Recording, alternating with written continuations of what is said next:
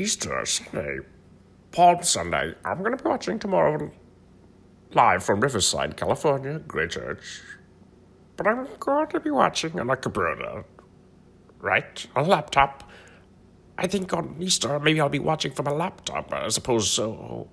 How sad is it that we have Easter Palm and Easter Sunday and people are watching on laptops and computers? It's sad. Mm-hmm.